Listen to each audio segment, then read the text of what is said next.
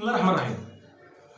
من يومين ثلاثة كنت بتكلم عن يا جماعة ميسي فعلا هيمشي ميسي فعلا زهق ميسي ما بيلوش وما بيهوش الإدارة وما بيحاولش يضغط عليهم الراجل فعلا زهق واتخنق من الوضع اللي إحنا موجودين فيه. مفيش مشروع رياضي موجود مفيش حتى بوادر مشروع رياضي بارتيمو وكومان ممكن يقدموا الاثنين مع بعض. من هنا لحد شهر ثلاثة يعني شوف الراجل بقاله 14 سنة في النادي وقرر في يوم وليلة إن أنا هعمل مشروع يا جماعة هنعمله من شهر 8 لحد شهر 3 وده اللي إحنا هنغير النادي بيه. تخيل لما واحد كداب زي بارتيمو يقول لك الكلام ده هتعمل إيه؟ تخيل لما بارتيمو يطلع في مؤتمر صحفي ويقول اللعيبة كذا وكذا وكذا ماشيين وإحنا هنحافظ على ثمان لعيبة.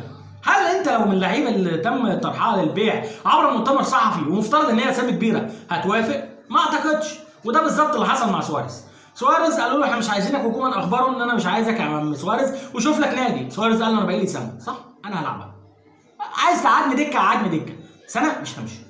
أنا راجل قدمت لبرشلونه كتير ومفترض إن أنتوا تحترموني وتقدروني وتمشوني بطريقة محترمة. ما حدش رد عليه ولا حد عبره الموضوع بجد. أنا مش همشي. أنا مش عايز عروض. وأنت يا عم وكيل اللعيبة بتاعي مش عايز أنا عروض. أنا قاعد لهم السنة دي نشوف الدنيا فيها إيه. أما فيدال ففيدال أنت ما رضيتش تبيعه لما كان جاي له عروض. هتبيعه دلوقتي لما أنت حابب تبيعه.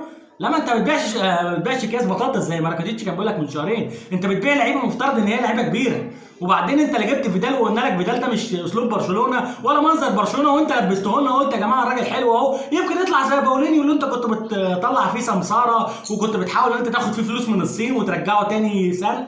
حاجات كتيرة قوي وسخه مجلس الإدارة كان بيعملها. بس المشكلة بقى المرة دي ميسي أخيرا زهق. أخيرا قال لك يا جماعة الناس دي بتستغلني وكانوا بيقولوا في الإعلام إن أنا اللي بدير النادي وأنا اللي بدير غرف الملابس وأنا اللي بقول فالفيردي يقعد وفالفيردي ما يقعدش. وفي الآخر اكتشفنا إن لا يا جماعة ميسي بيعترض على كل حاجة بتحصل. بيقول لك ميسي هو اللي مقعد بيكيه ومقعد بوسكيتس ومقعد الناس دي. ميسي أول واحد طلب إن الناس دي لازم تمشي علشان خاطر نحاول نبني دم جديد. وطلع بيكيه بعد المباراة والفضيحة الكبيرة جدا اللي حصلت لنا في لشبونة. قدام بايرن قال يا جماعة لو مستعدين إن إحنا نقدم أي حاجة للنادي هنعملها حتى لو هيمشونا علشان خاطر نجيب دم جديد. وإيه بقى اللي حصل؟ كالعاده مفيش أي حد في كاتالونيا كلها يقدر يتكلم عن بيكيه يمشي. الموضوع معروف ابوه احتمال يكون الرئيس القادم لبلديه كاتالونيا وبيكيه كمان احتمال قاعدين يقول لك الرئيس القادم والكلام ده. فصعب جدا إنك تتكلم على إن بيكيه يمشي. طب بالنسبة لبوسكيتس بوسكيتس برضه شرحه والراجل قال له إحنا ممكن نقعدك دكه لو أنت عايز يعني. فالكلام كله كان ماشي على إن يا جماعة ليس كل من هو إسباني ممكن يقعد معانا في المشروع الجديد بتاع كومان. إحنا هنقضيها إسبان وهولنديين. هم مش كانوا بيرفعوا لنا الراية البيضاء. أيام فانجال علشان خاطر الفرق كلها هولنديين. إحنا بقى نخلي لكم شوية إسبان كده في النص ونروح نجيب لنا خمس ست لعيبة هولنديين ونقلب الفرق كلها إسبان وهولنديين مع بعض علشان خاطر الجماهير يترضوا وبارتيمو يترضى وكومان يترضى. بيسالك بس أنا بقالي سنتين وبطل كورة. هو إيه المشروع الهبل اللي هم بيعملوه ده؟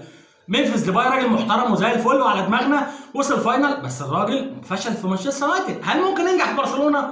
لا.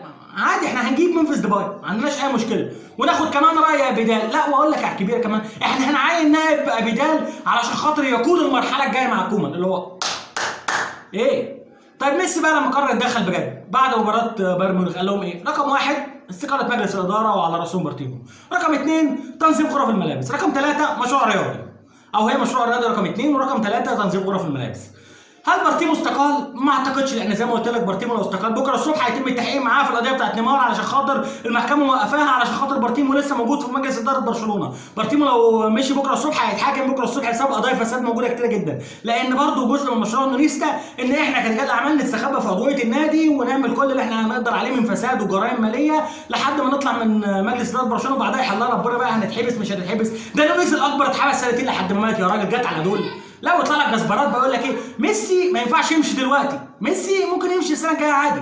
ليه؟ أصل دلوقتي ميسي لو مشي هيكون معناها نهاية لفرع النونيستا للأبد. لأن تخيل بقى لما ميسي يمشي ومفيش مشروع رياضي مفيش أي مجلس إدارة جاي هيبقى عنده مفيش مشروع رياضي وعندنا مشروع اقتصادي. خلاص موضوع إن أنت يكون عندك مشروع اقتصادي رقم واحد ورقم اثنين مشروع رياضي أعتقد إن هي هتنتهي تماما في برشلونة. ودي حاجة حلوة جدا سواء ميسي قعد أو ميسي مشي. الموضوع بالنسبة لنا إن يا جماعة في حاجة حلوة جاية. حتى بيقول كمان قال لك أنا بدعم ميسي على القرار اللي هو خده. ليه؟ علشان خاطر كلنا عارفين. آه ميسي لما يمشي هنزعل بس ميسي لما يمشي هيفتح لنا طريق جديد من طريق النظافة والاستقرار جوه النادي، ليه بقى؟ إحنا كلنا ما بيننا وبين بعض عارفين إن كومان هيمشي، كومان آخره لحد شهر ثلاثة مش هيكمل مع الفرقة غير لشهر ثلاثة، ليه؟ علشان خاطر فونتا لو جه هيجيب معاه تشافي. وطبعا نائب الرئيس بتاع بارتيمو لو نجح أكيد هيخلي معاه كومان الموضوع باين قوي. بس نائب رئيس بارتيمو هل يجرؤ إن هو يدخل انتخابات في حالة رحيل ليونيل ميسي؟ ما أعتقدش. هم بكرة الصبح احتمال يستقيلوا. لأن هم بكرة الصبح لو استقالوا هيحافظوا على المشروع الأكبر. مشروع نونيستا مشروع رجال الاعمال اللي بيستخبوا في عضوية مجلس إدارة برشلونة علشان خاطر المحاسبة المالية. إنما لو فكر إن هو يخاف على نفسه دلوقتي ويبيع الناس اللي سنداه ويبيع الناس اللي هتسند النايب بتاعه أعتقد إن الموضوع يكون بالنسبة له ضايع تماما. فميسي ممكن كمان يكون بياخد الموضوع بجدية. إن أنا بالنسبة لي يتحرقوا دول على دول على دول وأنا عايز أعتزل سنتين في فريق محترم ولاعيبة شباب تقدر تشيلني لأن لعيبة شباب في برشلونة الموضوع صعب جدا. ليه صعب جدا؟ أنت قلت إن اللعيبة هتمشي. صح. هل في عروض جت؟ قلنا الكلام ده في... هل في عروض جت؟ مفيش عروض جت. هل في عروض هتيجي؟ هل اللعيبة دي ليها حق انها تستمر السنة الجاية غصب عنك؟ آه ليها حق. سواريز هيستمر السنة الجاية غصب عنك. قلتها لك سواريز لعيب رخم. انت ما قدرتوش ما قعدتش معاه كلمته ثلاث دقايق قلت له مش عايزك. لا لا ده لويس سواريز يعني لعيب بقى له فترة طويلة جدا موجود عندك وعمل تاريخ معاك. قال لك بس أنا مش همشي السنة الجاية. عايزين تقعدوني دكة؟ قعدوني دكة. أنا مش همشي. نفس الوضع بالنسبة لفيدال بس فيدال برضه ممكن يقول لك عادي يا جماعة أنا كان عندي عروض من شهرين ثلاثة أنتوا ما رضيتوش تبيعوني دلوقتي عايزين تبيعوني؟ لا أنا مش ماشي.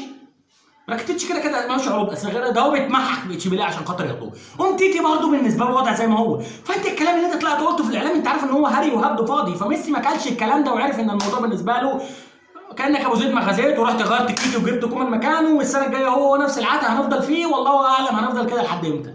بنسبة كبيرة جدا الوضع فضل زي ما هو بارتيمو ما استقالش ميسي هيفسخ العقد من طرف واحد. ودي الميزة اللي كان عطاها لي بارتيمو السنة اللي فاتت. أنت اللي هتفضل الميزة دي على بارتيمو اشرب بقى اشرب.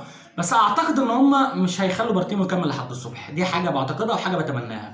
وفي النهاية صديقي عايز أقول لك حاجة. لو ميسي مشي أعرف إنه بيدور على مصلحته ثم مصلحة النادي. لو ميسي قعد أتمنى إن إحنا مشروعنا يبدأ من بكرة الصبح ونحاول يا جماعة إن إحنا نطلع شباب بجد وإن إحنا نحاول نبني على ميسي. مش نحاول إن إحنا اللعيبة الكبار قاعدين وميسي قاعد وكل حاجة قاعدة ومفيش أي حاجة اتغيرت غير كيكي وإيريك ابدال لا الكلام مش هينفع خالص.